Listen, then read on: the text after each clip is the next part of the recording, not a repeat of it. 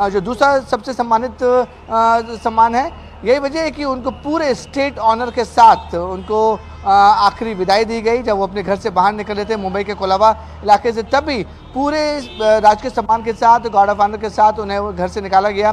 पूरे राजकीय सम्मान के साथ यहाँ पे जब वो उनकी बॉडी और पार्थिव शरीर आया था, यहाँ पे रखे गया।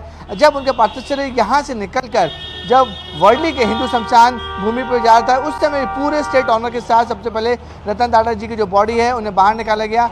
महाराष्ट्र पुलिस के लोगों ने रतन टाटा जी की बॉडी को पूरे तिरंगे में लपेटा और कॉफिन को अब पूरे अपने कंधों पर, जो एक स्टेट ऑफ़ ऑनर होता है कि जब कोई भी गार्ड गया जाता है तो उसमें महाराष्ट्र पुलिस के लोग जो है वो कंधा देते हैं। उनके बाद उन्हें उस वैन में रखा गया, जिसपे वो आखिरी यात्रा पे निकले हैं। और जैसा मैंने आपको बताया कि एनसीपीएस से नरमन पॉइंट से जो डिस्टेंस है वर्ली शमशान भूमि का, वो तकरीबन 9 से 10 किलोमीटर का है। कोस्टल रोड होते हुए ये लोग पहुँचेंगे। आधा घंटा तकरीबन समय लग सकता है।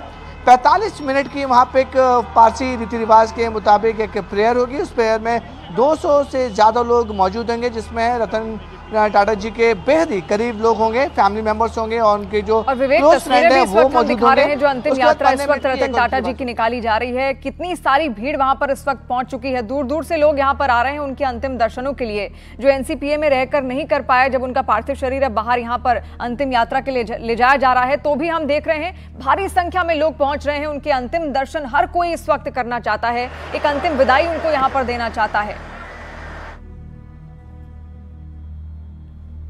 शिवानी, देखिए रतन टाटा जी की जैसे ही उनकी, सबको पता चला कि उनकी मृत्यु हो चुकी है लेट नाइट की एक खबर आई थी, रात के तकरीबन साढ़े ग्यारह बजे के आसपास कि मुंबई के ब्रिज कैंडी में उनका देहांत हो चुका है।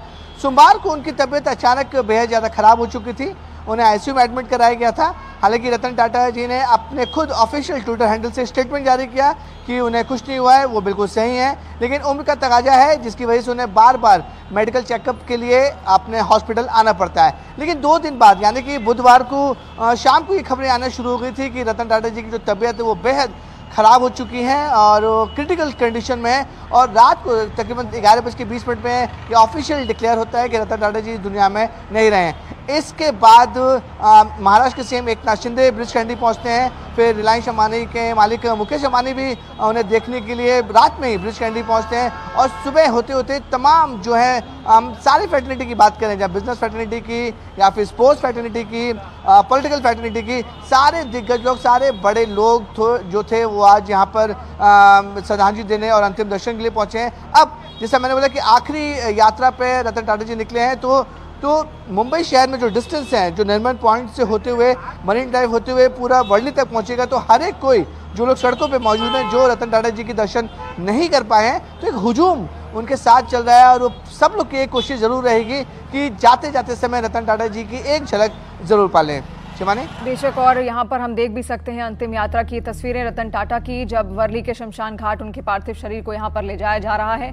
हज़ारों की संख्या में लोग एकत्रित हुए। हर कोई उनके अंतिम दर्शन यहाँ पर करना चाहता था, क्योंकि उनका पूरा जीवन, और वो खुद भी मानवता की एक मिसाल यहाँ पर बनकर गए हैं। और प्रेरणा स्रोत रहे हैं वो तमाम उन उद्योगपतियों के लिए और ख़ास तौर पर हर किसी के लिए, चाहे युवा पीढ़ी ही क्यों ना हो, क्योंकि उनका जो विजन था वो था आम आदमी तक पहुँचने का। किस तरीके से आम इंसान तक भी वो पहुँचे। और इसका सबसे बड़ा अगर उदाहरण है तो वो है टाटा नैनो। टाटा नैनो जब उन्होंने लॉन्च की थी तो उनका विजन यही था कि जो आम जनता है, जो आम इंसान है, जो आम आदमी है, जो कभी चार पहिया वाहन के बारे में सोच भी नहीं सकता, उस तक भी वो चार पहिया वाहन पहुँचाए।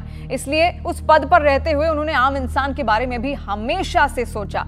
जो कमाई का उनका पैंसठ प्रतिशत हिस्सा था, वो जाता था सीधे सीधे टाटा ट्रस्ट को, ताकि वहाँ से वो पैसा वो जनहित में लगा सकें। और ऐसे में तस्वीरें आज की बेहद अहम और अंतिम विदाई जब उनको दी जा रही है, अंतिम यात्रा। रतन टाटा की।